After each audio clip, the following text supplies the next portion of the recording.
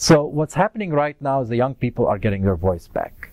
Uh, their expectations are high that now that they're going to be mo- move, movement towards democracy and those regimes are going to be more responsive to their needs. Uh, I think it's going to be a while before uh, the economy turns around and they start getting the jobs that they that they have been expecting.